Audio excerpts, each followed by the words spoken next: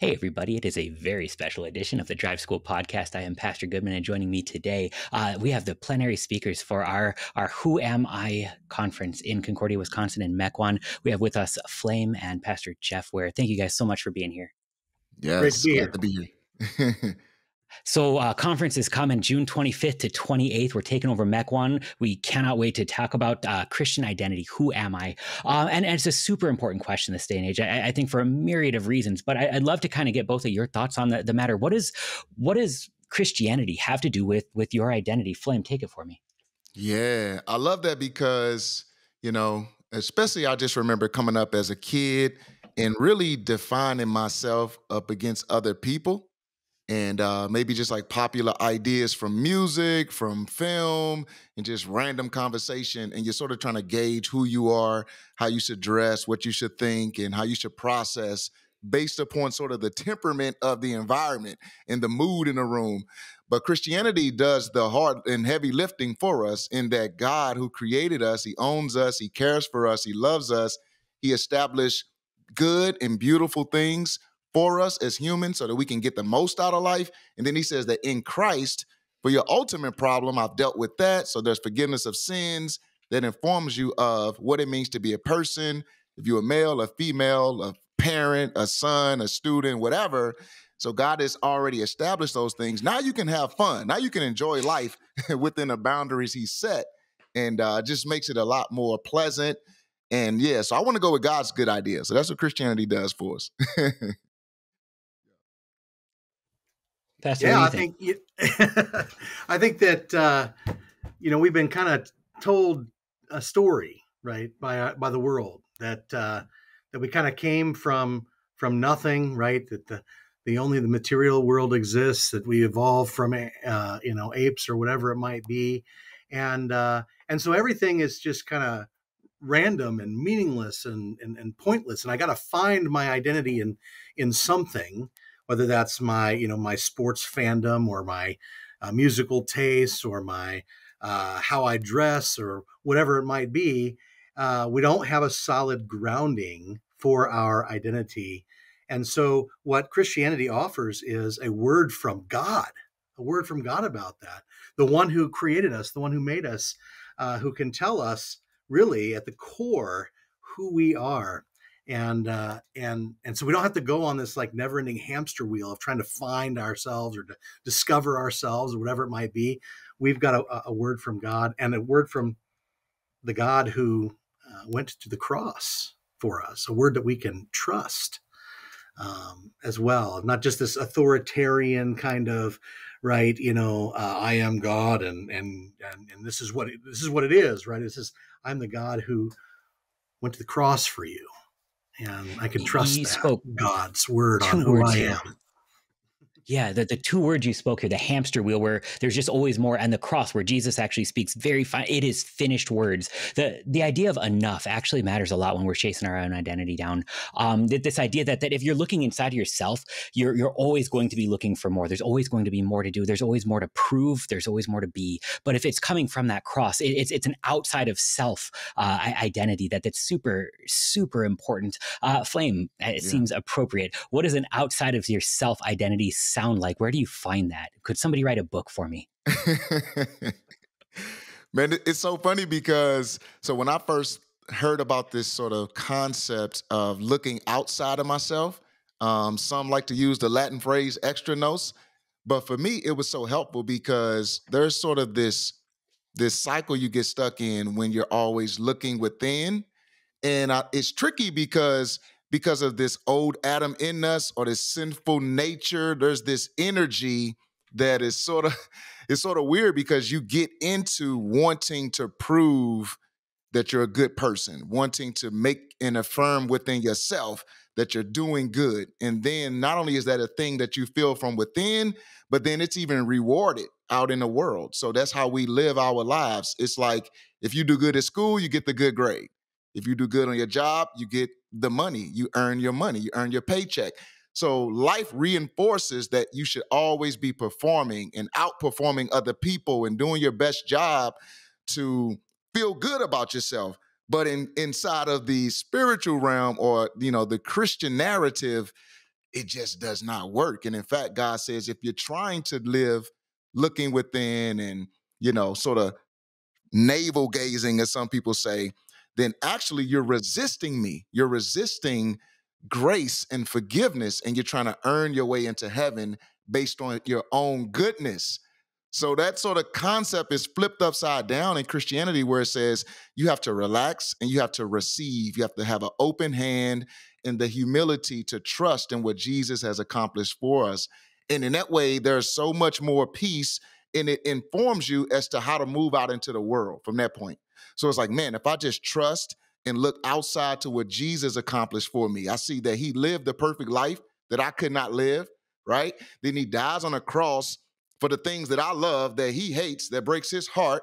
And not only does he die for our sin, but he raises in three days, just establishing the truth of who he is and demonstrating what God was really getting at when he created human beings. And with that all being in the person of Christ, it's like, well, I should look to him because I can't pull that off. And uh I need him.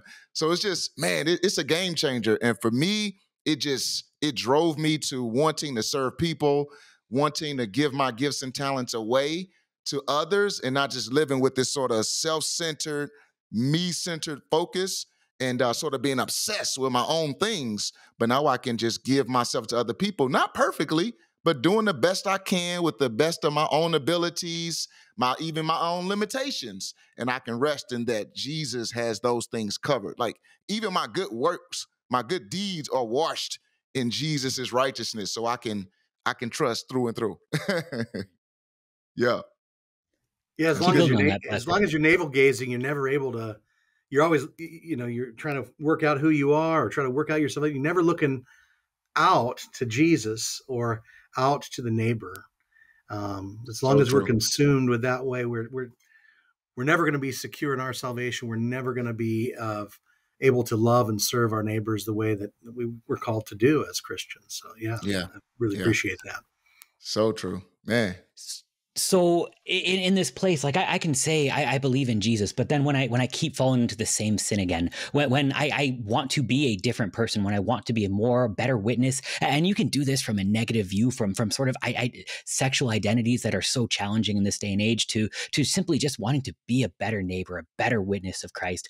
Um, if all i'm going to do is sort of look at my faith i start to to wrestle with the idea am i trusting in my faith or in, in my lord. So so god gives us the gift of baptism. He, he again works from the outside in but but talk a little bit, you guys, about uh, how baptism actually gives gives not only strength but but security and comfort uh, when we start to wrestle with an identity when our works keep failing.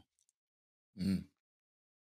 I I think I think right there is the forgiveness of sins. You know, I mean, this is what this is what this the greatest uh, gift that is given in baptism is the forgiveness of our sins, and so.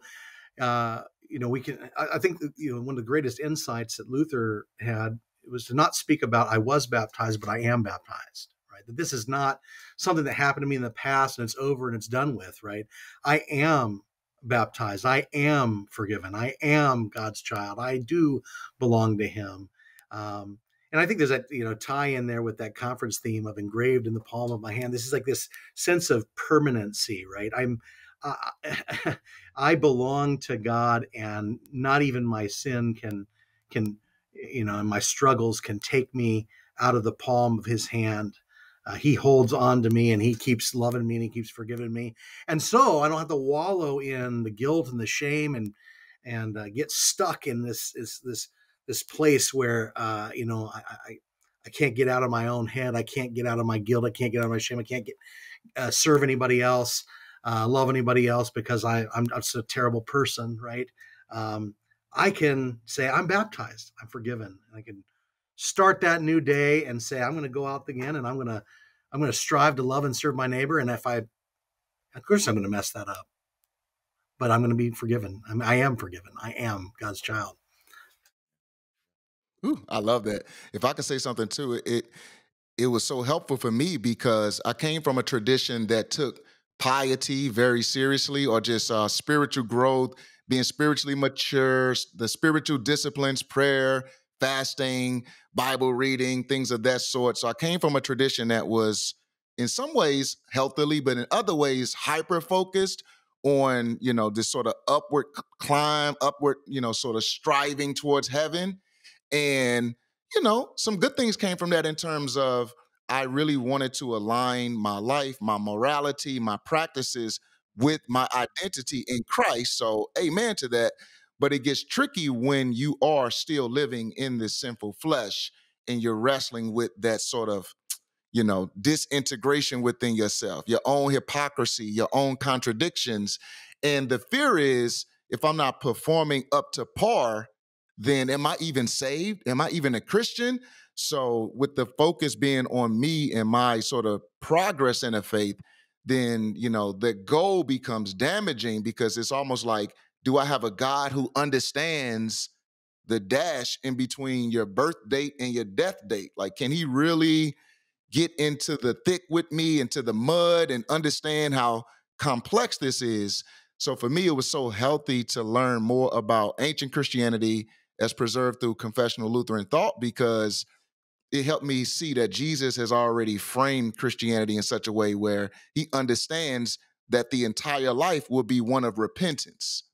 So that means that I will always need him for forgiveness. So I'll daily be dying to sin and being raised to newness of life, which is something that he does. So it's not something that I do, but obviously with my members, I'm actively participating through the power of his spirit, but I'm safe. So as I'm struggling through, I know I'm covered. I'm watermarked, if you will, in my baptism. I'm being held, and God loves me. And I love that First Peter 3 20 and 21 where it says that in our baptism yes god saves but he also gives us a good conscience so it's like man even though i'm struggling through i can rest even in my conscience in my heart in my mind however you want to think about it but that allows me to be the sort of broken version of myself knowing that god is over time tweaking me and patiently you know, working with me and in me, and ultimately he's doing the work himself. So I'm I'm really just resting in in my baptism, and uh, so that was a game changer for me. I was like, you know what? I think Christianity is a good thing because I was questioning that, and uh, he really undergirded me with his word. So I'm thankful for for this tradition and and and the word of God in general. I love that. So, um, I, I really want to grab onto something you just said there, and, and maybe kick it back to both of you. Uh, but the idea of of sort of a Christianity that diminishes our identity in, in a way that makes us want to get rid of the Christianity instead of our identity is is a temptation that I think sooner or later almost anybody has to struggle with when Christianity keeps calling you a sinner. So um, when when both of you were asked to to define identity, you went to chiefly to the works of Christ and, and not the works of of, of yourself. Uh, when can Christianity be almost used as a weapon against your identity instead of a bolster for it? And and and what does God give us to actually address it the right way? Mm, that's a good question. I think if, if Christianity becomes a moral improvement program, that's when it's a threat to the soul, to the person, because then it also is just one among many other moral improvement programs. So it sort of loses that um that that's that authority, if you will, because mm-hmm. it's like, oh, I can take yoga, I can join this religion, I can just be a good humanist in the world to become a better person. And, you know, so if Christianity is just that, it loses its significance. It just becomes one among many things. And uh and and then if I'm finding it to not work, it's like, man, I'm applying these principles, but I don't seem to be getting better, smarter, richer, more attractive. Then why don't I find a, a superior program that can get me to that end? And uh, so a lot of people hit that space, especially if it's some type of vice or moral struggle and they keep hitting that wall like man i took this class i read this book i tried these christian principles to overcome this and it didn't work and then people just tap out. So if christianity is not centered on jesus's finished work for us then uh, it, it has no power and i love how we are called to look outside of ourselves to jesus's completed work and his spirit delivering those gifts to us through word and sacrament. So I'm always looking to him. And uh, so that's a game changer. I mean, my goodness, I think that's relevant for Christians and non-Christians. When, when Christian when Christians go down that road, I think they that what they're preaching ceases really to be Christianity, right? I mean, Apostle mm-hmm. Paul said, "I resolved to know nothing among you except Jesus Christ and Him crucified." Right? This this has got to be the central message, and I think sometimes, you know, I see Christians and Christian preachers. Uh, sort of treat the gospel like it's just for for people who are not converted, right? So so we're going to preach the gospel, tell you, and then you get saved, right? And then after that, it's all about moral improvement, life change, uh, living your best life now, whatever it might be.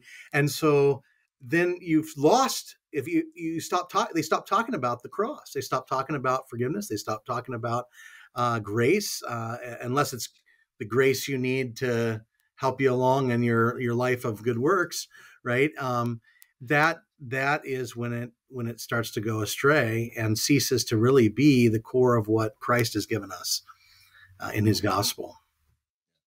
Absolutely. That's good. So uh, this summer, we I'm, I'm so excited. We we can't get to can't wait to get hundreds and hundreds of kids together so that we can talk about this identity thing. You, you guys are both going to get to to share the stage to to teach plenary for a couple hours a piece.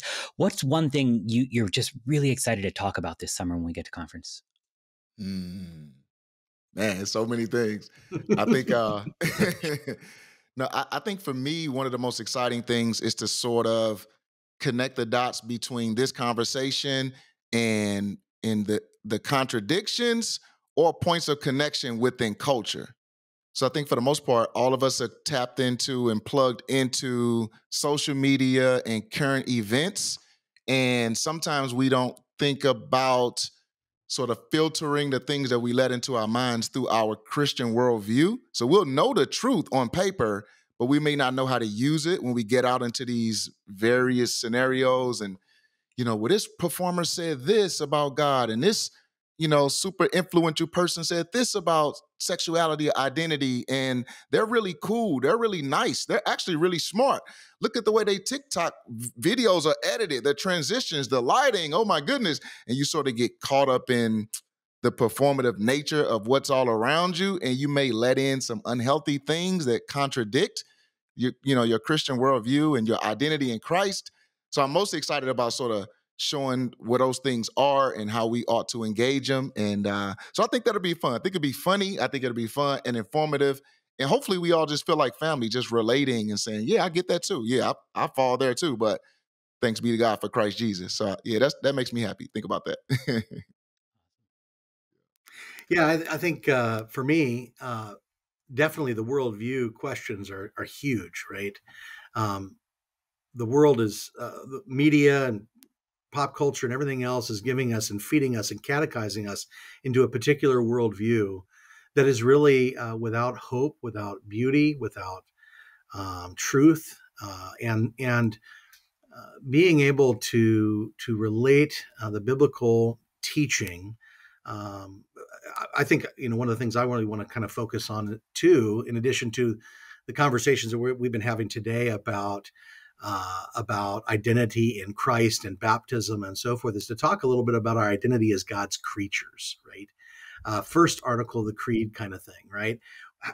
You know, what does it mean that that God created me and gave me my body and soul, eyes, ears, reason, senses, all my members, right? All that stuff, right? What does that mean? How does that shape my identity? What does it mean that God preserves all of that, right? What does that mean that that uh, God uh, that God uh, defends and protects me from all uh, danger and delivers me from evil and all of those sorts of things, right? We, um, and, and then you know, also to talk about how uh, we can find purpose too in the vocations that God has has given to us, uh, the relationships that we have in, in the in the home, in the family, in the church, uh, in you know, at school and work, and and everything else uh, how does God how has God given me a holy calling, a vocation, uh, a place for me to serve and to and to and to show the love that I've received from Him to others? Uh, what a what a wonderful and beautiful picture of life that is uh, given to us in, in, in these things. So I'm excited to talk about that stuff too. That's fire. Yeah. I can't wait. So uh, it's going to be Who Am I, June 25th to 28th this summer, Concordia Mequon. Uh, Flame, Pastor Ware, thank you guys so much for taking some time out of your day to to talk about this and uh, look forward to hearing you a lot more this summer. Yes, indeed. Round Great. two. Let's go.